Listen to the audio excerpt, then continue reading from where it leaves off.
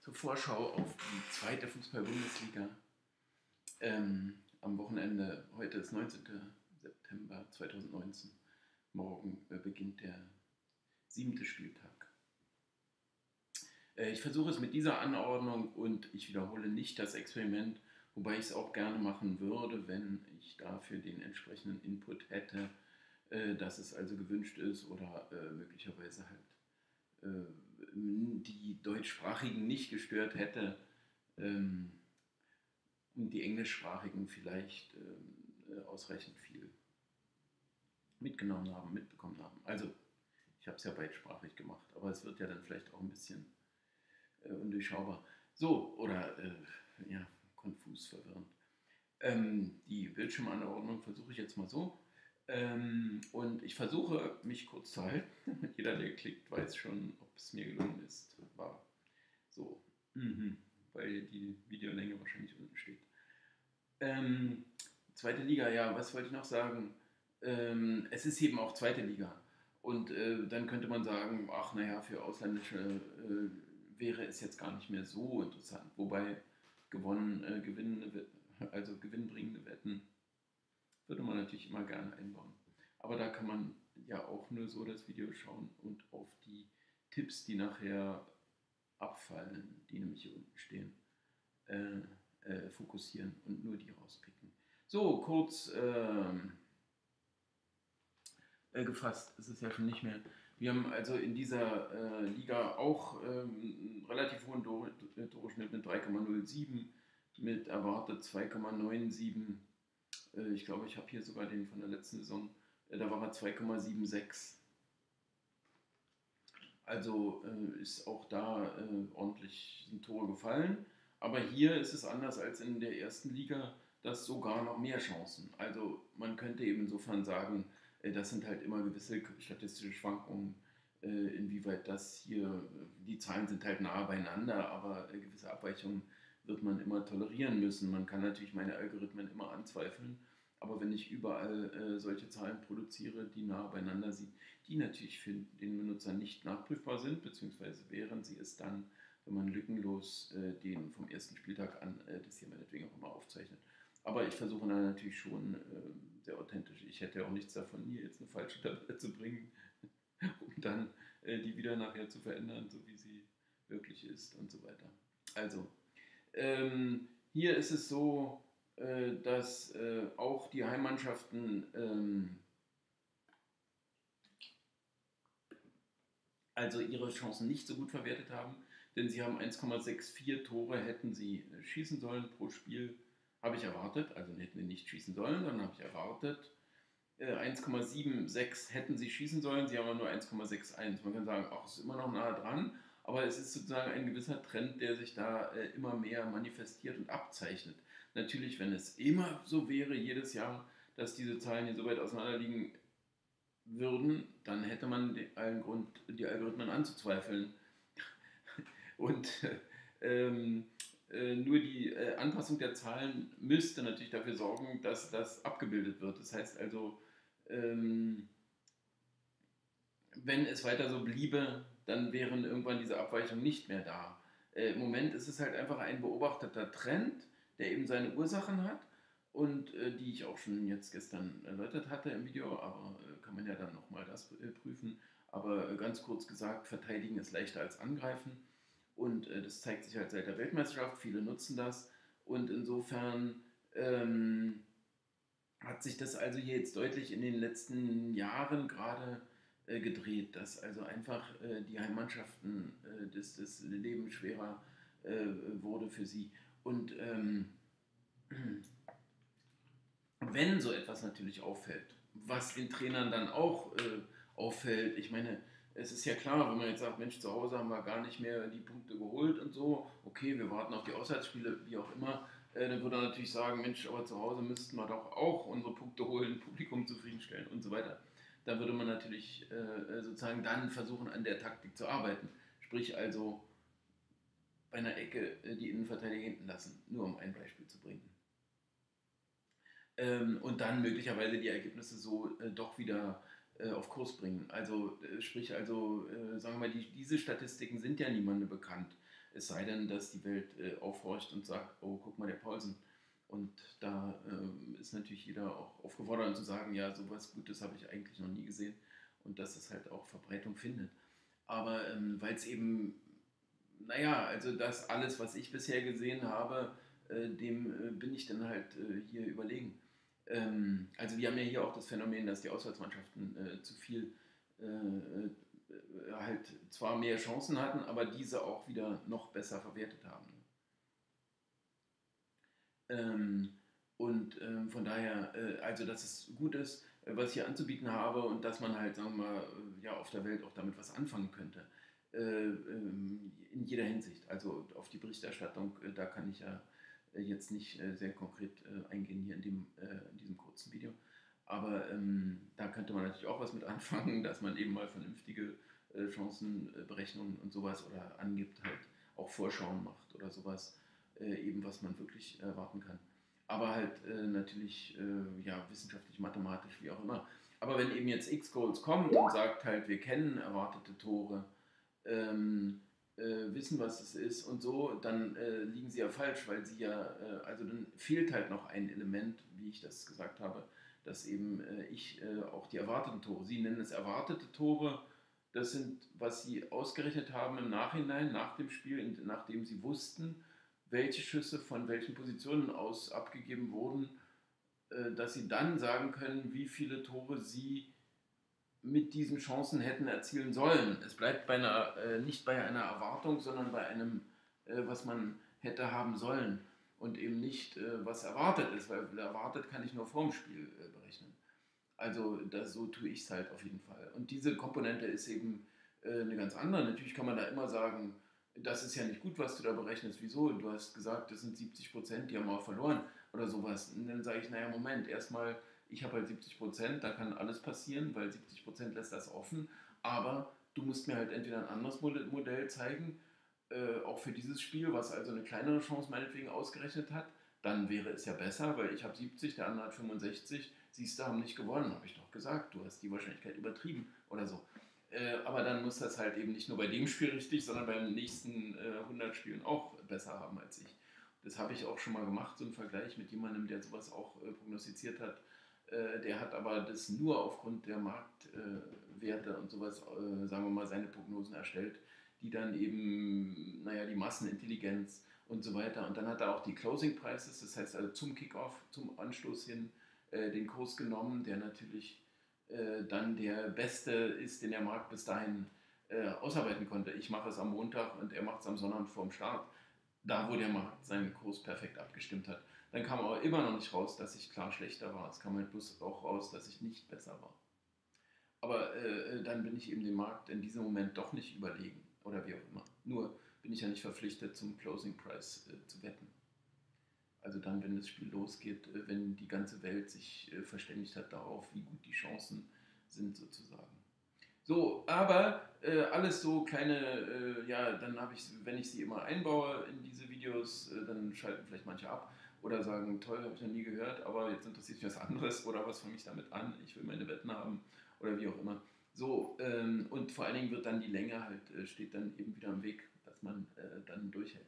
So, hier haben wir das Ranking, habe ich ja schon mal vielleicht, äh, glaube ich, am, im Review sogar erläutert, äh, ne, dass er halt doch, äh, und aber unheimlich dicht zusammen. Wir haben in Paderborn hat man mit 0,64 äh, und äh, Bayern mit 2,61, glaube ich. Und dann sieht man halt hier 0,8, 1,47. Man sagt eben auch sowieso nicht ganz umsonst, und das zeigt sich halt in diesem Ranking auch, zweite Liga, da kann jeder jeden schlagen, da ist jedes Spiel offen oder jeder Spieler ist schwer, jedes Spiel umkämpft, gilt natürlich auch in der ersten, aber trotzdem ist halt ein Unterschied 0,8, 1,47 oder 0,6, äh, 2,6. Also es sind halt dann doch äh, größere Dimensionen.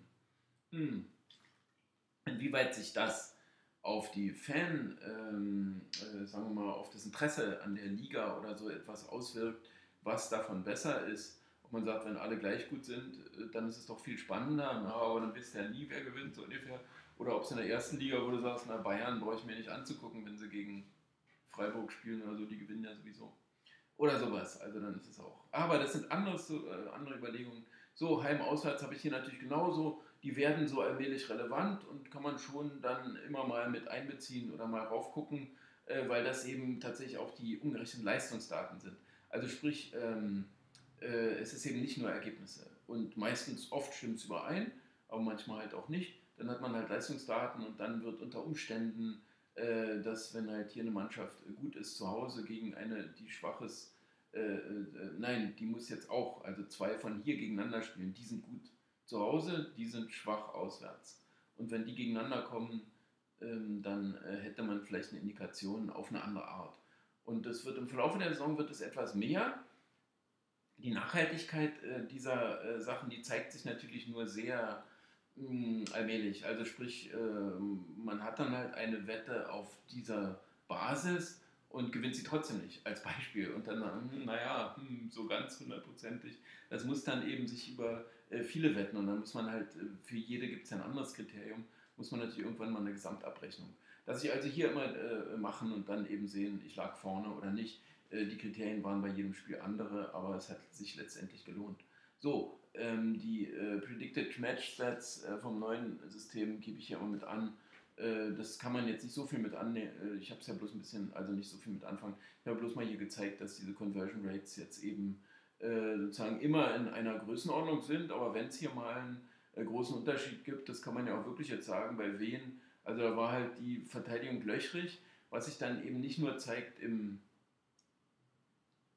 Es zeigt sich vor allem darin, dass halt aus wenigen Chancen viele Tore fallen. Und das heißt eben, dass sie einfach dann so aufmachen, blind, äh, wie auch immer, äh, nach vorne rennen, könnte man eben sagen, es ist alles übertrieben, es ist alles professionelles Niveau, sie machen es alle gut, aber die machen es dann halt eben ein bisschen weniger gut, dass sie eben zu früh äh, dann äh, zu verzweifelt anrennen, wie auch immer, und dann, dass eben der Gegner aus wenigen Chancen viele Tore macht. Dann ist eben eine schlechte Conversion Rate defensiv äh, bei ihnen gegeben. Also sprich, äh, der Gegner hat dann eine bessere Verwertungschance gegen sie. Hier, wo man denn mal so Abweichungen sieht, ansonsten ist es ja alles sehr moderat. Und das andere sind hier die Chancen sozusagen umgerechnet, äh, von denen man halt diesen Prozentsatz verwertet. Das wird einfach nur ausmultipliziert. Also wenn man diese Prozentzahl mit diesem Wert multipliziert, wobei die Errechnung dieses Wertes natürlich auch eine gewisse Komplexität äh, beinhaltet. Aber ähm, äh, das ist natürlich jetzt schon über die Jahre äh, ganz gut verifiziert. Wie gesagt, die, den, den Wert eines einzelnen Modells kann ich mit meinen Methoden sogar mit sich selbst in sich selbst prüfen. Ich bin ja gezwungen, indem ich also ständig Erwartungen und Eingetroffen miteinander vergleiche und dann sage, naja, wenn es ein bisschen daneben liegt, sind halt statistische Abweichungen. Aber ich kann eben auch, ich habe verschiedene Prüfmethoden, die ich auch gerne gelegentlich immer mal äh, vorstelle, in denen man halt eine ganze Menge erkennen kann, äh, wie gut sozusagen diese Prognosen sind und äh, dass ich da immer irgendwo im, im vernünftigen Rahmen bleibe, auch von Abweichungen. Wenn ich aber tatsächlich die Qualität dieses Systems wie gesagt, so würde man immer nur sagen können, naja, kann man tolerieren, sind halt Abweichungen, die treten eben auf, die würden bei jedem auftreten. Ob nun deine Wahrscheinlichkeiten, Torerwartungen, das und so weiter, was alles aufeinander aufbaut, ob die richtig sind, kann ich letztendlich nicht sagen. Ich sehe nur, dass es halt ja, ganz gut hinkommt, aber eben nicht, äh, äh, ob es ein anderer eben besser könnte oder so. Ne? Und da müsste man dann eben immer ein anderes Modell dagegenhalten. Und ähm, damit könnte man dann eben ähm, die beiden Modelle miteinander vergleichen. Natürlich ist das einfachste Modell, dass man einfach den Markt nimmt und halt einfach sagt, äh, ja, hat der Wettmarkt. Und das habe ich ja jetzt eben schon erklärt, wie das mal passiert ist. Äh, und dann kommt eben raus, äh, dass es ziemlich gleich gut oder so war, äh, was wir gemacht haben, äh, die beiden Modelle. Also, dass eben beide Abweichungen haben. Also, da gibt es verschiedene statistische Methoden, um das zu vergleichen. Aber letztendlich halt jetzt kein Modell da irgendwie besser ist. Aber äh, das ist eben, wie gesagt, natürlich, also wenn ich jetzt sage Wettmarkt, Closing Price, also den wollen wir schlagen. Aber wir wollen nicht den Closing Price schlagen. Das ist halt das, äh, der kleine Vorteil, den man dann eben hat. Äh, und, und vor allen Dingen bin ich eben nicht verpflichtet, jedes einzelne Spiel äh, zu spielen, sondern nur dann, wenn etwas heraussticht. Von daher habe ich eben zwei Vorteile auf meiner Seite, selbst wenn ich jetzt nur gleich gut sein sollte wie der Wettmarkt. Also äh, sozusagen, dass ich den jetzt auch nicht äh, also diese Massenintelligenz, die ja auch, äh, äh, wo ich jetzt mal hier mit einem Holländer hier zu tun hatte oder so, der hat dann immer gesagt, ja, der Mann kennt äh, in jeder Kabine einen, äh, wenn die sich umkleiden, ja. Also der weiß von jedem nicht, also und so weiter. Und wenn Leute so eine Insider-Informationen, die halt direkt vor Ort da und äh, überall. Das war ja nur so ein lustiger Spruch jetzt, wo man sagt, der kennt in jeder Kabine einen, mindestens einen. Mhm. Also persönlich, äh, dass man eben dann, äh, naja, da wird es schon ziemlich schwer. Und die Leute machen ja mit beim Wettmarkt. Ne? Und die sind ja dann auch teilweise bestimmt bei den großen Spielen jetzt. Ne? Also nicht bei den großen, aber äh, wie soll ich sagen, äh, wenn es äh, dann große Wetten auch möglich sind, äh, also wo dann hoch gespielt wird oder so, und äh, die sich da sehr genau auskennen, äh, dann ist es halt auch ein bisschen marktbestimmt. Also sprich, dann wird der Kurs so korrigiert, dass er eben dann doch mehr die Realität reflektiert. So, also sprich, dagegen jetzt anzukommen, ist halt vermutlich nicht möglich. aber man muss sowieso akzeptieren, dass der Markt halt immer enger geworden ist. Aber ähm, ähm, durch die Möglichkeit halt natürlich auch früher zu spielen und ähm, also die äh, natürlich möglichst den fallenden Kurs zu erwischen und nicht einen steigenden. Wenn man einen steigenden Kurs spielt, äh, dann hat man natürlich immer eine Dummheit begangen, weil äh, wenn ich heute 2,02 spiele und morgen 2,13 bekäme, na, dann äh, ist das ja äh, immer verschenktes Geld. Ne? Wenn ich aber 1,92 spiele und äh, am nächsten Tag ist es 1,85, äh, dann habe ich eben ein Bargain. Also da ist es günstig so und so weiter. Und da versucht man natürlich schon jetzt möglichst die guten Seiten und so weiter. Und man kann es ja hier prüfen auch, indem man jetzt guckt, wie sich Hannover entwickelt äh, äh, heute oder morgen noch, äh, weil ja heute erst Donnerstag ist und morgen sie spielen. So, ähm, äh, aber äh, wie ich jetzt auf diese gekommen bin, das können wir natürlich auch ein bisschen weiter unten gucken. Äh, hier hat der Computer sogar ein leichtes Plus für, ähm, für Hannover raus. Ich meine, das ist jetzt schwer, sagen wir relativ schwer zu rechtfertigen. Das ist das neue System, das ist unbeeinflusst. Also sprich, ich mache keine Anpassungen. Ich lasse es einfach durchlaufen. Das neue, äh, alte System hätte, äh, klar kann ich das immer zeigen, aber äh, das lasse ich jetzt mal hier, ähm, hätte äh, das äh, hier einen Vorteil für Kiel. Ja? Aber jetzt können wir natürlich gucken, äh, warum das so ist. Und, oder beziehungsweise, naja, hm, hm, hm. wir können halt zum ersten Mal auf diese Graphen gucken von der Leistung. Und da kann ich nur sagen, dass Kiel eben wirklich sehr ordentlich gespielt hat, denn das war besser als erwartet. Und das ist ja sogar eine sehr gute Kurve, wenn es hier über 1,5. Ich habe hier nicht äh, den Schnitt jetzt. Der ist jetzt auch nicht so äh, prickelnd oder so, weil der immer irgendwo bei 1,35 oder sowas liegt. Aber ähm, da ist halt eine gewisse Entwicklung auch. Dann hat man es aber immer auf einen Blick. Also muss man nur sagen, die haben eigentlich überdurchschnittlich gespielt. Eben, immer noch. Nur äh, jetzt zwei Punkte gegen sie. Also ich habe ja diese Spiele gesehen und war dann halt beeindruckt. Kann ich ja nicht anders sagen. Nur hat eben genau das nachgelassen. Und es hat eben speziell nachgelassen jetzt äh, nach dieser Trainerentlassung nochmal, weil das 03 jetzt in, ich weiß immer auswendig, bis ich hier sprechen muss, äh, weil ich so alles gesehen habe, in Heidenheim. Okay, aber ähm, äh, da war ich ja schon gegen sie. Und da passt es halt eben nicht mehr. Und na klar, hier könnte man sowieso jetzt eine gewisse fallende Tendenz oder sowas ausmachen. Ne? Und äh, Ergebnisse sind sowieso darunter, aber das ist ja dann eher Pech. Da würde man eher sagen, na, die musste nehmen. Nur erstens an dieser Abwärtsentwicklung, die ja nicht im Einklang steht mit der, sodass sie also sozusagen jetzt keine schlechten, äh, starken Gegner hatten, wo es schwerer war, äh, sondern sie haben einfach nachgelassen. Und jetzt finde ich es halt lächerlich, wenn man eigentlich gut spielt und dann den Trainer aber entlässt. Also das ist halt für mich jetzt sowieso eine Absurdität. Also, und bei Hannover könnte ich eben umgekehrt sagen, also ich bin manchmal zu sehr vom letzten Spiel dann auch beeinflusst oder so, äh, gebe ich ja gerne zu. Aber letztendlich haben sie ihre Erwartung gespielt. Es ist halt Schnitt, es ist sogar etwas Überschnitt und so ist es halt. Und das nehme ich natürlich jetzt für äh, gegeben. Und wenn man hier sieht, dann hätten sie auf einem Niveau gespielt, äh, so ungefähr, denn das ist ja beides hier irgendwo bei, na gut, die sind sogar hier über 1,5 oder so, aber das ist halt, halt fallend, hier war es okay. So, könnte man immer noch sagen, das sind gleich gut, was willst du da mit der Auswärtsmannschaft? Gut, wir bekommen aber plus 0,25 und ähm, äh, leider sind hier immer die Statistiken nicht angegeben, deswegen muss ich die jetzt mal ganz kurz aufrufen. Ähm, äh, für die ähm, äh, Heim-Auswärtsverteilung. Äh, so, und da haben wir hier, äh, also erwartet 1,096, ich übersetze das nochmal, erwartet habe ich halt knappe 55 Prozent der Tore für die Heimmannschaft, also immer durch zwei Teilen einfach. Und erzielt haben sie nur 52,5. Das hat sich zwar übersetzt in 24 Siege und nur 14 Auswärtssiege, aber die Tore sind halt für mich dann doch etwas mehr das Kriterium. Sagen wir mal so, das sind dann halt teils klare Geheimsiege, die dann nicht, äh, also wie auch immer, es sind äh, vielleicht Auswärtssiege, äh, wie auch immer. Nein, nein, das ist Quatsch jetzt, was ich gesagt habe.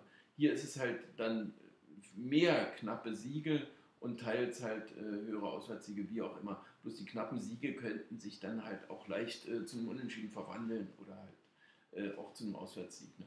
Aber gut, ich orientiere mich halt etwas mehr an den Toren. Hier könnte man auch sagen, nach den Werten ist doch alles eigentlich im Rahmen äh, äh, äh, und so weiter. Und ich orientiere mich aber mehr an den erzielten Toren. Aber das kann sich alles sowieso ein bisschen verschieben. Nur ist ja allgemein die Tendenz zu beobachten. Das ist ja jetzt eben nicht ein, ein, ein, ein ähm, äh, das blende ich mal jetzt wieder aus. So. Äh, das ist eben, äh, allgemein ist es halt so, dass man lieber die Auswahlsmannschaft nimmt. Und ähm, wir bekommen halt das Vierteltor und ich sage mal von der Tendenz her ist es im Prinzip äh, richtig, äh, die richtige Seite. Ja, da hat mich das neue System unterstützt mich halt hier sehr stark, wobei es ja noch nicht mal an der Conversion Rate liegt, die ja sogar nachteilig ist für Hannover hier, sondern es liegt halt, meinetwegen könnte man sagen, an der Grundeinschätzung, aber ich würde halt auch sagen, jetzt, naja, das kann eben auch heim-auswärts, also da können wir ja gerne mal raufgucken, da wäre ja so ein typischer Fall. Hier hätten wir Kiel im Minus und Hannover auch im Minus, also das würde halt noch ein bisschen den Effekt pro Auswärtsmannschaft verstärken, wobei diese Prozentwerte jetzt eben nicht übertrieben hoch sind. Ne? So, äh, aber auf jeden Fall haben wir das halt sozusagen noch auf unserer Seite. Und ähm, ähm, ja, wenn ich ein Spiel so lang mache, dann ist ja für die anderen kaum noch Platz. Äh, äh, diese, hier müsste ich ja mal sagen, warum äh, hat der Markt keinen Fehler gemacht? Aber da würde ich eher sagen, äh, wenn halt alles okay ist, äh, da muss, muss man halt nicht so viel kommentieren. Ja? Ähm, nicht bei Heidenheim-Darmstadt sieht man hier so Torwartung, der Markt hat da minus 0,75, also das stimmt schon mal, kommt schon mal ganz gut hin. Und ich hätte jetzt eben auch nicht so direkt eine Neigung. Also äh, wir können eben, hm, wie mache ich es jetzt?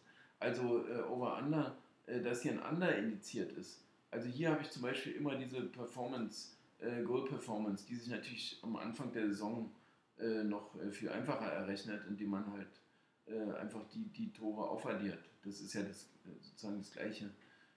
Einfach zu gucken, nur im Verlauf der Saison wird die Performance immer auf die letzten acht Spiele berechnet, was ich halt so festgelegt habe. Ähm, und ähm, dann würde praktisch, wenn hier 20 Spiele gespielt sind äh, und hier ein Gesamtwert steht, aber in den letzten acht hatten sie viele Tore äh, oder so, dann ist halt die Performance das, was mich interessiert. Äh, während es hier am Anfang halt das Gleiche ist. Und jetzt haben Kiel 15 Tore in 6, und Hannover haben wir äh, im Prinzip das gleiche, 15 Tore in 6. Dann sind halt 30 Tore in 12, das ist halt sowieso ein Schnitt von 2,5. Also das macht das sowieso offensichtlich. Äh, dass halt hier so eine gigantische Line kommt, ist vermutlich letzte Saison, rechne ich diesmal, diesmal nicht vor. Wobei Hannover ist ja Absteiger. Äh, bei Kiel waren aber Tore, das wissen wir ja. Aber ähm, äh, die Line ist halt im Prinzip zu hoch. Auf der anderen Seite haben wir ja die vielen Tore, ne? aber das baut noch auf auf dem Kiel-Over. Äh, äh, von der letzten Saison. Und hier würde ich sagen, jetzt A, zweimal Trainer gewechselt und B, jeder neue Trainer würde erstmal sagen, wenn es nicht so läuft, also wenn man hinten steht, äh, warte mal, äh, schottendicht erstmal, ja. Also wir stehen hier hinten, da wollen wir nicht unbedingt. Und das gleiche gilt natürlich für Hannover. Es ist sozusagen ein Duell von Mannschaften von unten. Also das äh, Ander kann man sehr gut rechtfertigen nach Zahlen ist es sowieso sehr gut gerechtfertigt. Ja. Äh, wenn ich jetzt auf Heidenheim gegen Darmstadt auf das Ander das ist ja jetzt das nächste Spiel sozusagen hier. Das ist eben immer alles ein bisschen schwierig, wie ich das am besten präsentiere. Hier ist die Performance relativ neutral mit plus 0,53, also das heißt, also 35 Tore gefallen anstatt 34,46 erwartet. Könnte man jetzt nicht, das Profil kann natürlich nicht viel anderes jetzt hergeben, als dass Tore sind gefallen, äh, Leistungen waren nicht ganz auf dem Niveau. Äh, hier waren es eher sogar ein Over von den Leistungen her. Tore sind halt da nicht gekommen. Da kann man dann wieder spekulieren, wobei im letzten Spiel ja gerade dieses 3 zu 3 war. Also dieses Under ist jetzt von, den, von diesen ähm, Graphen da nicht besonders bestätigt und äh, von der Performance her gerade so neutral. Also würde ich mal sagen, das ist nur nach Zahlen, es ist kein großer Margin. also genauso gut weglassen. Also sprich, äh, das ist einfach nur, schreibe ich hier manchmal hin nach Zahlen, klar rechne ich es dann ab, wenn es hier in Bold ist. Wenn das jetzt nicht fett gedruckt wäre, Bold, dann würde ich es äh, halt auch nicht abrechnen. Vielleicht könnte ich es jetzt auch noch abschaffen, ab für B drücken einfach. Dann wäre es nicht mehr Bold. Aber ich lasse es jetzt hier einfach, ähm, dann haben wir ein bisschen mehr zum Abrechnen und der Viewer bisschen mehr Grund, über mich zu lachen. So, äh, dann haben wir es, was? Ein Dorf von Ander. Fünf Tore gefallen. Der redet was von Ander. So, in diese Richtung halt. So, äh, Stuttgart gegen Fürth haben wir hier ein Ander. Ähm, da habe ich auch die Seite. Also können wir das Spiel sozusagen jetzt hier in einem Aufguss, Aufwasch abdecken. Ähm, Stuttgart, da haben wir es. Also Performance ist schon mal negativ. Also das heißt, äh, das heißt, dass weniger Tore. Hier sind ja auch erkennbar 34 nur gefallen, anstatt 35,05 erwartet. Es ist ja auch, äh, da wir zwölf Spiele absolviert haben, ist es ja offensichtlich unter drei denn, äh, pro Spiel, denn 36 geteilt durch 12 äh, wäre 3. Also sprich, ab 36 wären es 3 Tore pro Spiel. Also das Under kann man so schon mal ein bisschen nennen. Es ist ja ein Under 3. So, Stuttgart von den Leistungen her, weil er auch Viert angezeigt ist, Stuttgart war halt gut, absolut konstant, immer äh, auf dem Level gespielt, immer leicht über Erwartung geblieben. Also hier war es jetzt eben nicht, ja, also dann habe ich sie halt doch nicht falsch eingeschätzt sozusagen. Ne? Ich hatte das ja auch am Montag jetzt im Rückblick gezeigt, dass sie klar die Besten sind. Naja, hier könnte man zwar sagen, ist immer noch äh, gut, aber es ist halt jetzt auch nicht so überragend. Die Ergebnisse, also sie sind die Besten. Ich würde im HSV, wenn es da vorne steht im Ranking, keine Ahnung, dann sind sie halt gleich gut, ich weiß es nicht. Aber jedenfalls ist das hier jetzt nicht weit abweichend von der Erwartung. Aber Fürth hat eben wirklich äh, überrascht und das über 1,5 und ich habe jedes Spiel gesehen und mir sozusagen die Augen gerieben. Äh, hier hatten sie noch einen leichten Gegner, Auer würde ich sagen, haben sie ja zu Hause verloren. Wie man sieht, hier 0 Punkte geholt. Aber äh, sie haben trotzdem überragend gespielt. Und das war eben, also das ist dieser Wert. Das ist ja der vom zweiten Spieltag, wo es halt äh, jetzt nicht so gut war. Da war es aber auswärts, äh, können wir natürlich gucken, mache ich jetzt nicht.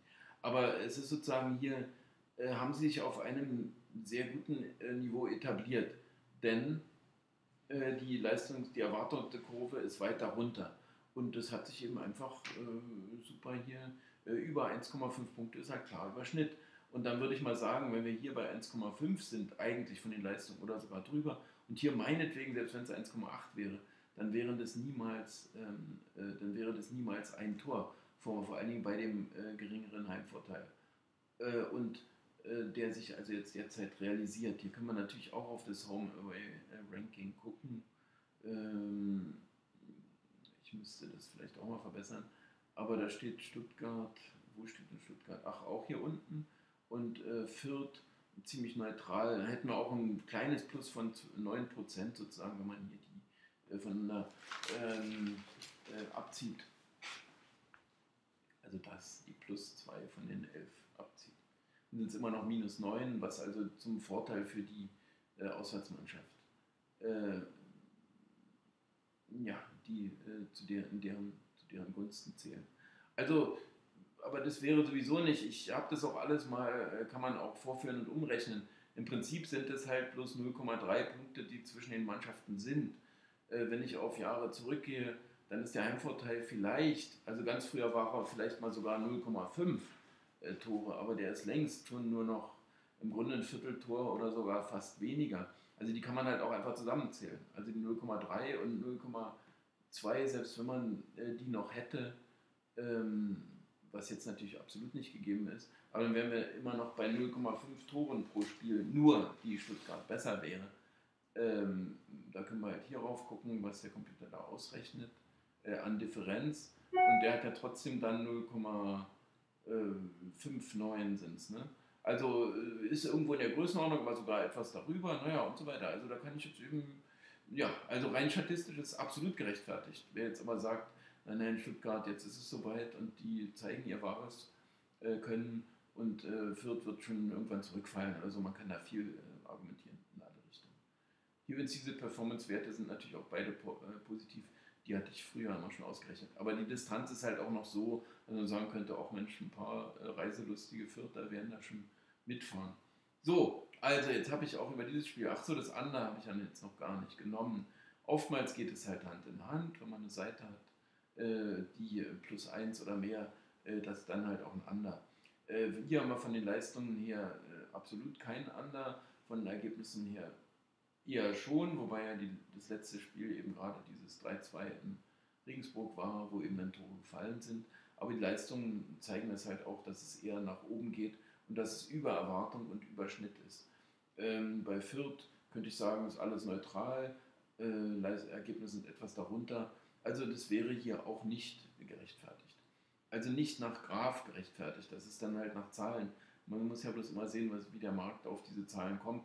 Ich hatte jetzt schon gesagt, von der äh, Performance her, von dem äh, Rechenwert, ist es ja unter drei äh, pro Spiel, die bisher gefallen sind. Und wir kriegen ja trotzdem äh, einen Kurs von 2,0, was also dann auf deutlich mehr als drei Tore hindeuten würde. Kann ich auch immer alles vorrechnen. Ähm, also theoretisch kann ich es halt, mh, hm, naja, wenn man es jetzt mal schnell sehen will, aber ich komme ja dann immer vom Hundertsten ins Tausendste. Jetzt sieht man mich gar nicht mehr. Aber wenn ich jetzt eben äh, einen Kurs von 2,0 haben möchte, dann muss ich eben hier wahrscheinlich auf 3,15 Tore gehen. Also so ungefähr. Das eben das Under 3 habe ich jetzt genau getroffen, äh, wie man hier sieht, äh, dann ist das Under 3 2,0. Also der Markt müsste sozusagen von mindestens 3,15 Toren ausgehen. Ähm, der müsste von mindestens 3,15 Toren ausgehen. Ähm, äh, damit äh, das äh, Under überhaupt die Wette pari ist. Also nur wenn die Erwartung über 3,15 wäre, hätte ich ein schlechtes Under. So, aber trotzdem ist es nach Graphen halt nicht gerechtfertigt. Das ist immer, wenn die rote Linie überhalb der grauen ist, kann man schon mal sagen, eher ein verstecktes Under, äh, Over, also weil eben der Markt ja nur diese Werte kennt eigentlich und diese Leistungswerte halt nicht äh, ins Kalkül zieht und so weiter. Also da hätte man, sagen wir mal, jetzt ausreichend viele Gründe, es nicht zu wetten. Sozusagen nach Graf. Aber das andere, die andere Rechnung habe ich ja jetzt auch präsentiert. Sodass man eben äh, sich mit allem da äh, arrangieren kann. Aber so ist es sozusagen immer. Es ist sozusagen ein ganz enges Abwägen äh, von dem. So, und jetzt habe ich alle Spiele hier aus den Augen verloren. Fürth, äh, Nürnberg, Karlsruhe, da war, glaube ich, nichts indiziert. Ich kann es ja hier auf meinem Zettel. Ach doch, das Over. Na gut, dann untersuchen wir nur das Over. Entfernung haben wir auch 201, ist natürlich bekannt davon, da, da, nach darüber, Westen, Mitte, Süd, Mitte. Nach, ähm, naja, Karlsruhe ist natürlich Süd. Nürnberg dann meinetwegen auch im südlicheren Teil. Aber ähm, ist halt einmal. nee, habe ich jetzt keine Lust nochmal den Quatsch zu erzählen. So, ähm, warum Over-Performance haben wir schon Klassiker, wollte ich sagen. Halt, das war das äh, Wichtige, dass eben zwei Gründungsmitglieder, wo natürlich dann schon, naja, wenn man sagen kann, 60 Jahre gehen die da immer schon, naja, sind erst 55, 56 Jahre. Aber äh, dann ist es halt irgendwie ein Klassiker. Trägt aber nicht jetzt unbedingt zu irgendwas bei.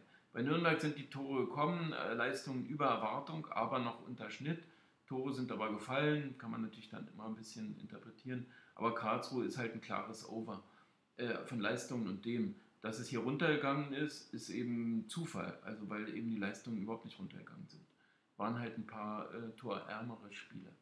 Ähm, also sprich, äh, das ist hier ein klares Over. Das ist halt nur aufgrund der Tore ein Over mit den Leistungen, aber da kommt es halt hin. Wenn ich jetzt sagen würde, hier könnte ich dann immer rechtfertigen, naja, habe ich halt korrekt eingeschätzt. Also wenn ich es korrekt gemacht habe, warum sollte ich es jetzt bei dem Spiel falsch haben? Äh, Performance ist halt sowieso dann Plus und so weiter. Also kann, kann man nur sagen, äh, das passt mit dem Over. Okay, jetzt gucke ich einfach hier auf den Zettel. Bei Wien Bielefeld äh, haben wir natürlich riesen Over-Performance. Äh, Distanz ist auch ungefähr in der Größenordnung. Was jetzt einfach kein Kriterium ist, habe ich einfach nur mal so vorgelesen. So, und ähm, Wien war halt von den Leistungen gut und jetzt haben sie halt doch mächtig abgebaut, sind sogar unter der Erwartung, wobei diese Werte hier immer noch sehr ordentlich sind. Die hängen aber auch teilweise mit den äh, nicht überdurchschnittlichen Gegnern, sondern eher unterdurchschnittlichen Gegnern zusammen.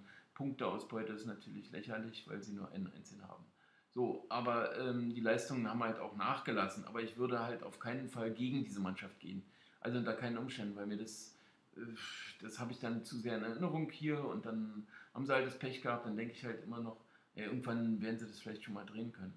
Und ähm, äh, Bielefeld ist halt auch eine Mannschaft, gegen die ich auf keinen Fall äh, gehen würde. Auch weil sie mir einfach gefallen haben. Ich habe sie richtig eingeschätzt jetzt. Hier war es sogar eher schwächer bei dem Sieg gerade in Hannover, was ich ja vorhin bei Hannover schon gezeigt habe. Aber es ist natürlich alles insgesamt sehr in Ordnung und über 1,5 Punkte pro Spiel ist halt eine sehr, sehr ordentliche Mannschaft. Das hatte ich sie so auch eingeschätzt, aber die haben sogar noch etwas besser und Punkte auch geholt. Also gegen die habe ich absolut nichts und gegen die würde ich auch nicht. Also von der Seite her kommt sowieso nichts hin und das Over ist natürlich hier übertrieben. Hier könnte man eher sagen, also hier wäre so ein bisschen dieses versteckte Under, weil eben beide hier deutlich drunter sind, wobei Wien natürlich auch trotzdem noch klar überschnitt, aber es sind halt zu viele Tore gefallen. Aber Bielefeld ist halt eher äh, vom Verhalten her sogar in gewisser Weise ein Under. Aber wenn da nichts angezeigt ist, kann ich sowieso nicht viel machen. Dann soll ich jetzt erklären, warum der Markt das zufällig doch richtig hat. Also da komme ich ja auf nichts. So, bei Sandhausen, Bochum habe ich auch nichts. Ähm, auch wieder komischerweise die Distanz. Also Schnitt ist, glaube ich, eher bei 400 oder 360 oder sowas, der Schnitt in der Liga.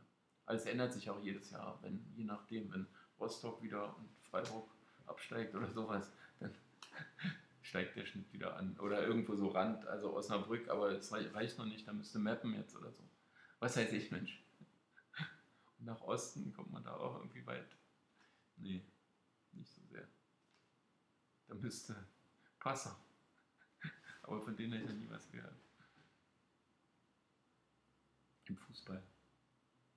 So, ja, die Leistungen hier, also die von Bochum sind halt klasse. Also wenn, aber die von Sandhausen sind halt auch über Erwartung und das. Und äh, das ist natürlich hier auf einem Level eigentlich, das ist halt hier durch die, äh, diese Graphen hier, deswegen ist der Schnitt halt immer interessant, weil der wäre halt in beiden Fällen äh, irgendwo hier, ähm, also da sie sich ja 1,5 angenähert haben, sind sie halt Überschnitt, was ich nicht erwartet habe. Aber trotzdem habe ich sie ja halbwegs sogar auf Schnitt hier gehabt und Bochum 1,2 habe ich halt Unterschnitt gehabt, aber äh, das hängt ja auch dann teilweise mit den Gegnern zusammen und so weiter. Bei den Goals ergibt sich auch nichts. Wenn man hier sucht, dann wäre es, ja, das wäre halt ein Over, kurioserweise, ein klares Over sogar, was der Markt also nicht erkennen würde. Da gucke ich mal kurz von den Zahlen her, ob man eher Richtung Over, nee, absolut nicht. Also das ist, äh, dann kann ich nicht den Markt näher erklären. Bei Bochum sind halt viele Tore gekommen, dann werden die als Over gehandelt, wie auch immer es kommt nichts bei raus. Hier haben wir halt jetzt eine klare Indikation. Also jetzt gehe ich mal einfach nach dem System hier vor. Äh, hier haben wir eine klare Indikation. Meine, der HSV hat sein Level gespielt, also das ist ja hier unterhalb von Stuttgart, wie man sieht, aber das hängt halt auch mit den Gegnern zusammen, dass ich eben sagen kann, gleich gut, wie auch immer, es ist sozusagen knapp drüber, aber die habe ich halt auch, sagen wir mal, relativ äh, mäßig eingeschätzt. Also weil ich einfach sagte, nee, ich glaube es trotzdem nicht ganz. Und der würde der Markt halt immer sagen, ja, HSV war dieses Jahr vorne, natürlich wollten sie nicht das wiederholen von der letzten Saison und so, wo sie ja einfach auch ein bisschen Pech hatten. Das Spiel gegen Darmstadt und so. Aber ähm, dass sie jetzt das halt äh, korrigieren wollen, ist natürlich der größte Name. Aber wenn sie noch drei Jahre in der Liga spielen, äh, dann ist es natürlich auch nur ein weiterer äh, Zweitligist. Halt. Aber äh, Fakt ist, dass es okay ist, was sie gespielt haben und dass ich sie ein bisschen zu vorsichtig eingeschätzt habe. Aber hier war es ja auch nahe dran. Das war halt das Spiel gegen St. Pauli, wo die Werte sogar hochgegangen sind wo sie eben verloren haben. Also von daher äh, kann ich jetzt hier nie keine großen Fehler erkennen. Während ich bei Aue eben, äh, sagen wir mal, da wirklich erstaunt war. Also hier hätte ich immer noch gegen sie argumentiert und auch gesagt, nur haben halt diese Spiele mich beeindruckt. Es fing halt an mit dem 0-0 gegen Stuttgart, wo eben die Leistung dann trotzdem sehr gut war. Dann kam halt so ein, äh, noch ein Unentschieden, aber auf jeden Fall gut. Und dann, das sieht man ja hier auch, dass es keine Siege sind, sondern nur Unentschieden. Und äh, jetzt halt wieder der Sieg im letzten Spiel äh, gegen Wien, äh, würde ich sagen. Und die Leistungen haben sich halt unheimlich stabilisiert. Wir müssen ja nun auch wieder nach dem Unterschied gehen, ne, der hier zwischen besteht. Und selbst wenn ich hier bei 1,8, eigentlich hat er mir das doch mal hier angezeigt. Es geht nur bei dem anderen. Aber wenn ich hier zwischen 1,8 und auch selbst wenn es nur 1,1 wäre, okay, wären 0,7 Tore, würden noch die, ähm, der Heimvorteil dazukommen, wären wir in einer Größenordnung von 1. Aber wir kriegen ja sowieso 1, wie viel kriegen wir? 1,25. Ne? Und wir können noch schnell auf Heim-Auswärts-Ranking äh, gucken. Äh, wo steht Aue da? Durchschnitt eher und HSV sogar ein bisschen plus. Na gut, aber der Wert ist ja plus 1,25 und hier können wir auch kurz vergleichen. Sie sind ja auch über ein Tor vorne. Also sozusagen, das geht schon alles auf, ne? wie man sieht. Das waren ja 0,7 Tore dazwischen. Kann man ein bisschen die 0,25 vielleicht draufnehmen, dann wäre 0,95 und Heim spricht, also die Heimranking spricht eher ein bisschen für Heim, sind wir bei 1,04. Nur ist es dann halt trotzdem indiziert und äh, weil es eben 1,25 gibt. Also von daher kann ich das natürlich nach Zahlen vollkommen rechtfertigen. Die Line ist halt immer wieder schwer zu schlagen. Ne? Also diese Line, äh, die, äh, ja, ist mir sowas, also immer über ein Tor, ab ein Tor, wird mir halt unangenehm. Also am besten funktioniert das sowieso alles, wenn die Bedürfnisse der Mannschaften im Einklang stehen mit den eigenen. Also sprich, äh, man verliert, wenn die Mannschaft verliert und man gewinnt, wenn die Mannschaft gewinnt. So ungefähr natürlich bei dem Draw No Bet und so weiter. Da kann alles. Aber es ist ja immer bei Lines von 0,25, 0,5, 0,75 auch, ist es ja gegeben, selbst wenn sie manchmal nur ein halber gewinnen oder ähm, äh, und so weiter, dann ist es manchmal auch halber Verlust. Auf jeden Fall steht es im Einklang. Was man selbst sich gerne wünscht und was die Mannschaft äh, gerne hätte, die gerade spielt. Jetzt bin ich hier nur auf die Taste gekommen. So, äh, das andere ist natürlich genauso angezeigt. Hier könnte man sagen, nach der Leistung ist es nicht äh, gerechtfertigt, wobei es beim HSV eher schon. Aber hier ist natürlich eine fett negative Performance. Na, fett, okay, nur 2,92 Tore. Schön. Aber, ähm, aber äh, das ist natürlich ähm,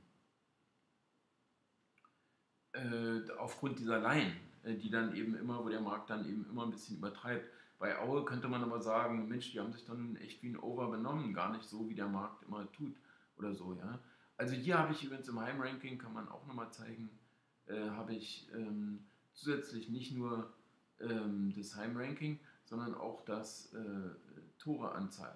Also das ist äh, sozusagen, äh, ob man heim oder auswärts. Warum hier alles grün ist, liegt einfach nur daran, dass es einfach eine komplette Overliga ist.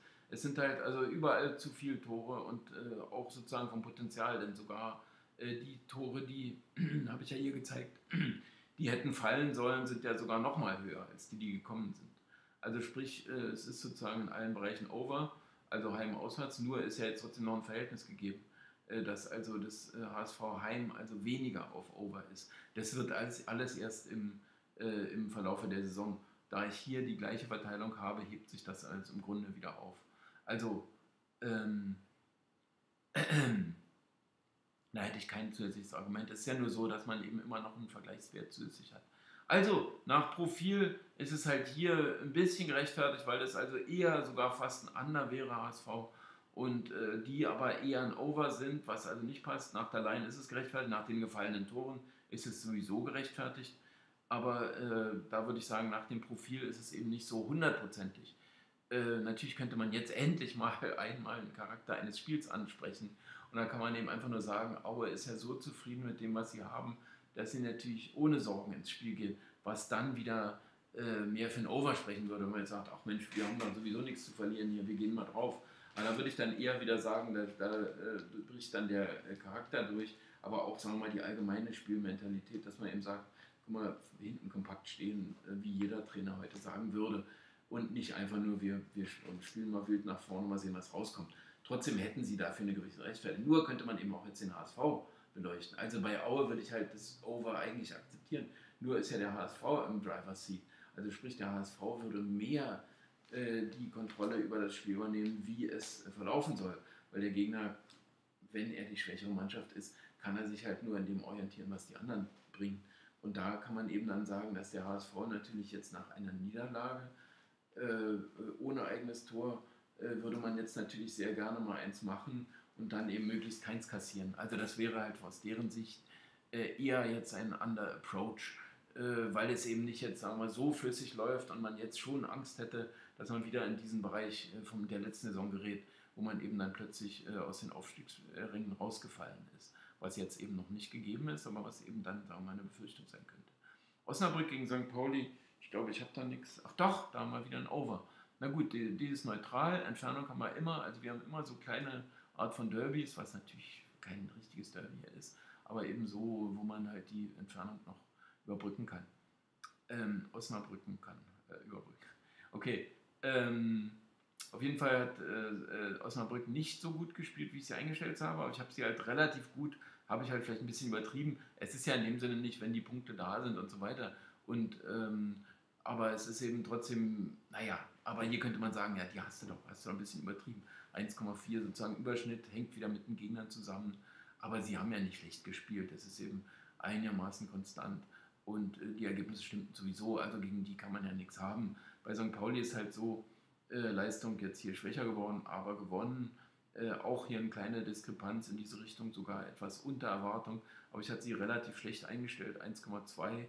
Äh, auch Gegner hängt natürlich mit Gegnern zusammen, aber 1,2 ist schon dann Unterschnitt.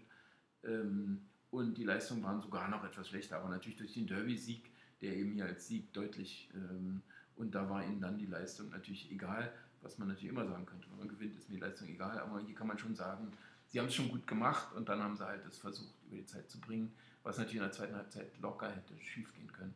Also sprich, HSV hat dann mächtig Druck gemacht und hätte halt das Tor verdient gehabt.